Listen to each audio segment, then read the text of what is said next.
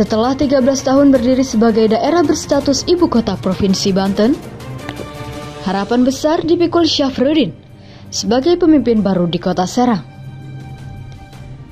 Berasal dari birokrat internal yang diyakini memahami permasalahan, Syafruddin yang memenangi Pilkada Kota Serang 2018 bersama Wakil Wali Kota Subadri Usuludin menjadi tumpuan masyarakat.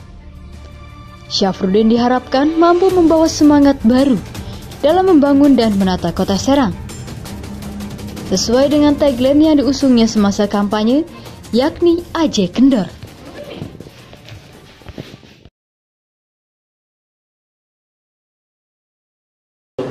Setelah 13 tahun berdiri sebagai ibu kota provinsi Banten, harapan besar dipikul seorang pemimpin baru di kota Serang, wali kota Serang, Pak Saparudin. Berasal dari birokrat internal Pak Saprudin diharapkan mampu membawa perubahan di kota Serang. Bersama saya, Jadi Jaya Sindika dalam jejak tokoh kali ini bersama Pak Saprudin. Pemirsa Kabarun TV sudah hadir bersama saya Wali Kota Serang Pak Saprudin. Assalamualaikum Pak Saprudin. Waalaikumsalam warahmatullahi wabarakatuh. Alhamdulillah ini saya kehormatan nih Bapak sibuk tapi bisa menyempatkan gitu ya. Iya, iya. Luar biasa. Pak, saya mau langsung nanya aja nih Pak. Iya boleh, boleh. Ini kan Bapak pemimpin baru gitu ya. Di tengah harapan besar masyarakat Kota Serang yang cukup tinggi saya lihat. Iya, Karena betul. Kota Serang kan ibu kota ya, ibu kota Hmm. Nah, bagaimana Bapak menjawab harapan besar masyarakat itu? Ya, saya mau menjawab harapan besar masyarakat. ya. Yang pertama memang eh, kita akui bahwa Kota Serang ini adalah ibu kota provinsi Banten.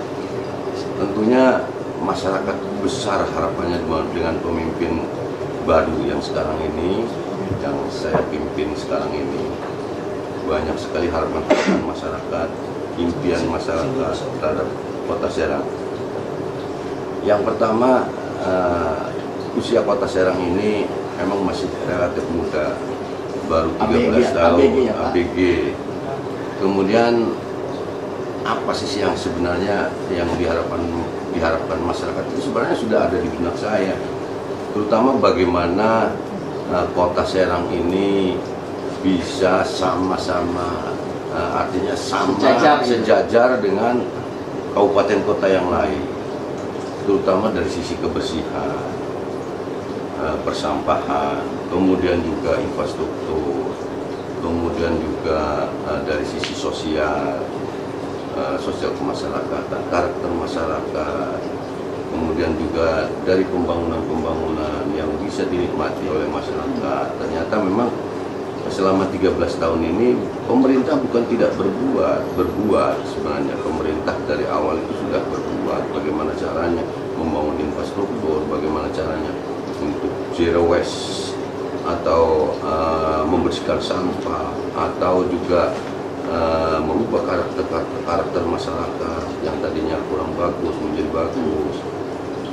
Bagaimana cara eh, masyarakat hidup sehat, Nah, itu sudah berbuat sebenarnya pemerintahan yang lama juga. Akan tetapi memang uh, uh, akan tetapi memang belum maksimal. Dengan keterbatasan segala-galanya pemerintah Kota Serang ini uh, dari sisi APBD kemudian juga uh, PAD memang masih serba terbatas akan tetapi harapan masyarakat ini uh, tentunya kami pemerintah Kota Serang uh, selalu berupaya bagaimana uh, kondisi masyarakat. Yang pertama adalah kesejahteraan masyarakat.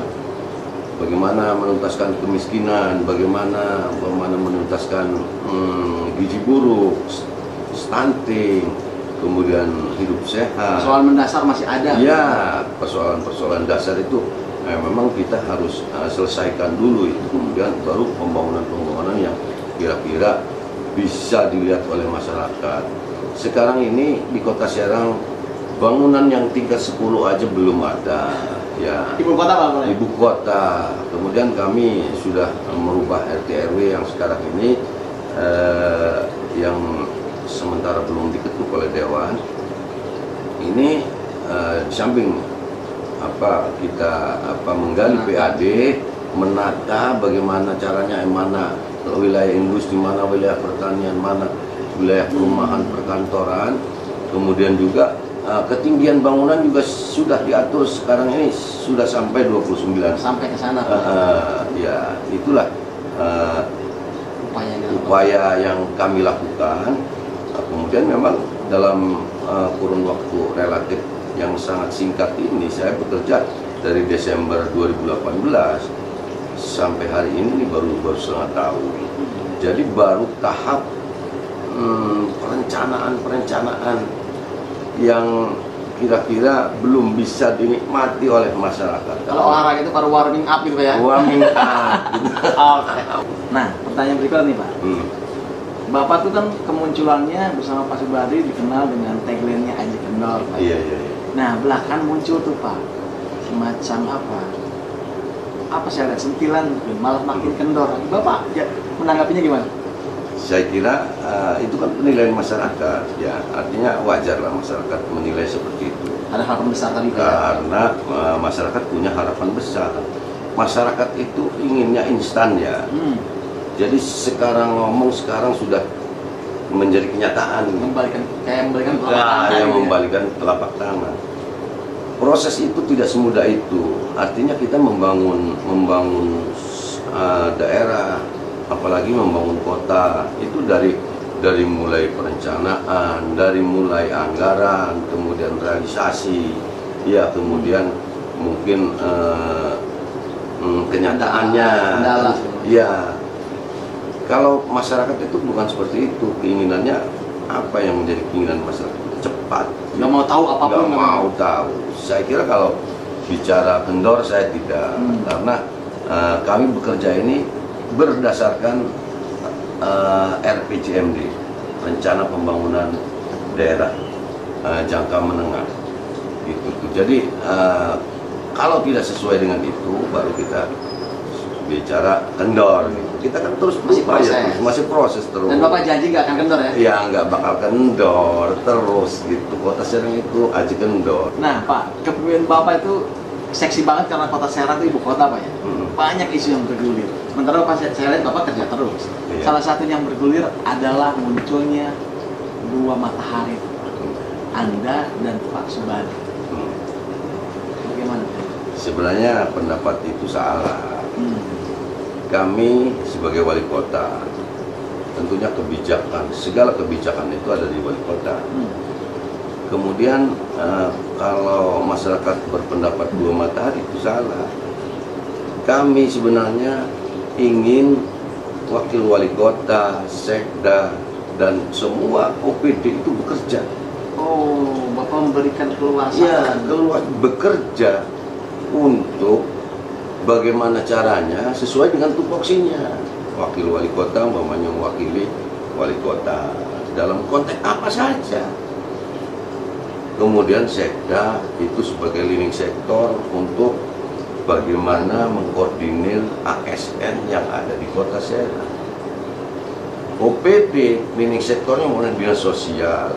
Itu mengatasi masalah-masalah sosial masyarakat. Anjal lah masyarakat miskin lah BH BKH lah Hmm. itu ada di leading sektor umpamanya dinas sosial bekerja di masing-masing tupoksinya jadi kalau eh, Pak Wakil Wali Kota itu bekerja sesuai dengan tupoksinya bukan berarti ini dua matahari Hmm.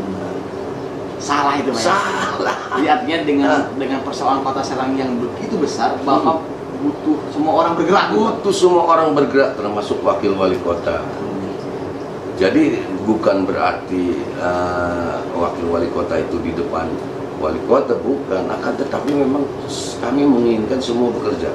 Wakil Wali Kota bekerja sekda bekerja, kepala UPD bekerja, sehingga apa yang diharapkan oleh masyarakat yang begitu besar itu akan diciptakan oleh kota Serang ini yang kerjanya itu ya wali kota bekerja, wakil wali kota bekerja, sekda bekerja dan semua OPD bekerja. Dan itulah sebuah tim, Pak. Nah, Saya dengar ada salah satu partai yang melirik Anda, bahkan memasukkan nama Anda hmm, untuk menjadi ketua gitu. Itu tingkat provinsi Banten, Pak. hmm, Bapak sudah tahu atau Bapak ya ya ya. ya, bagaimana? Apa Bapak juga akan menerima atau ikut? Ya, jadi begini, eh, secara naluri saya ya, artinya saya ini eh, besar dari birokrat sampai tahun akhir 2017 Sampai pilkada itu ya. sampai pilkada. Kemudian saya diusung oleh Partai PAN yang pertama ya, PKS, kemudian P3 dan Hanura. Secara kebetulan di luar partai itu juga yang pengusung banyak juga yang menawarkan ke saya Hmm.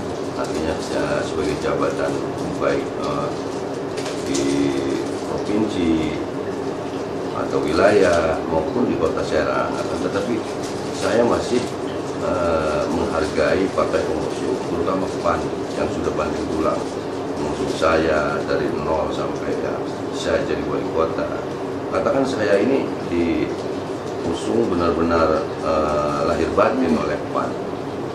Kemudian sekarang ada wacana musfil PAN. Sebenarnya secara naluri saya, karena saya ini eh, kader yang belum belongkotan ya, artinya masih baru. Jadi malu kalau saya umpamanya ke DPP, saya minta-minta saya jadi ke- ketua PAN wilayah. Oh, partai yang dimaksud PAN, Pak. PAN.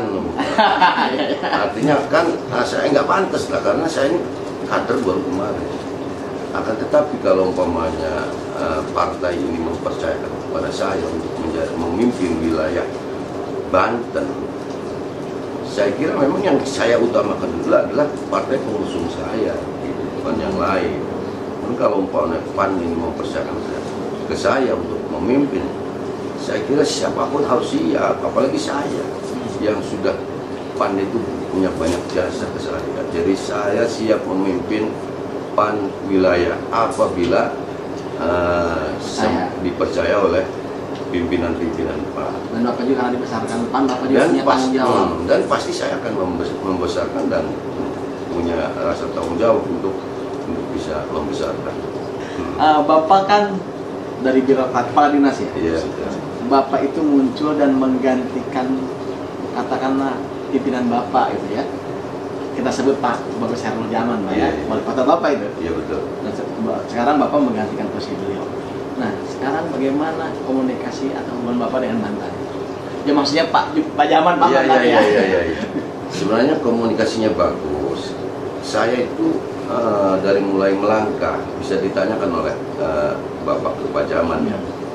Mau melangkah, mau nyalon saja sudah saya sudah sowan permisi Hmm. ke sini nih, ke kantor. Oh, ini. Bapak waktu mau datang. datang saya. Pak Wali saya eh, niat mau nyalon wali kota. Boleh ditanya? Jawabnya Pak Wali pada waktu itu Pak Jaman mau nyalon wali kota dengan siapa? Nggak tahu dengan siapa siapanya. Waktu itu. Ya kata Pak Jaman ya udah kalau serius eh, mau nyalon ya nyalon aja. Nantilah kita lihat ke depan bagaimana endingnya. Hmm. itu apa Pak Sapudin mau mau apa bergandengan. Waktu itu sama Bu Pera, Sama saya atau ya bagaimana. Udah sekarang mau nyalon nyalon aja gitu. Jadi jadi waktu itu juga saya permisi gitu. Dan Oh. tidak ada apa-apa sih. Karena saya memang saya menghargai pada waktu itu memang Pak Jaman itu sampai sekarang juga masih saya hargai karena ya pim- pimpinan saya pada waktu dan beliau tidak terlepas dari karir Bapak sebagai birokrat. Ya, jangankan ya, jangankan Pak Jaman sebagai Pak Wali Kota pada waktu itu. Pak Sekda aja saya kan merasa anak buahnya pada waktu itu. Sekarang Nah, ya sekarang sekalipun pamannya sekarang ini saya jadi wali kota, Pak Sekda dulu atasan saya, tapi ya saya normatif-normatif saja lah. Hmm. Bagaimanapun juga bekas eh, pimpinan saya. Ali secara pribadi tidak yang berubah hanya SOP Bapak karena Nah, oh, gitu ya tidak ada. Pak. malah lebih dekat. Oh gitu Pak. Mm-mm. Jadi intinya yang beredar itu salah Pak ya? Salah, malah saya lebaran datang datang Pak ya? Jamal ini. Oke, kalau Iya, itu kan sa- satu salah satu tanda bahwa saya ini ingin kekeluargaan ini jangan putus. Terus saja. Baik. Pak, saya terima kasih banyak nih Pak. Ya, Dikasih sama-sama. waktu, dikasih ruangan dan Sama-sama. dikasih kopi nih tadi. Iya, iya, iya. Terima kasih Pak. Ya, terima Baik. kasih sama-sama ya. Baik pemirsa kabar One TV, demikianlah Talks kali ini. Terima kasih. Wassalamualaikum warahmatullahi wabarakatuh.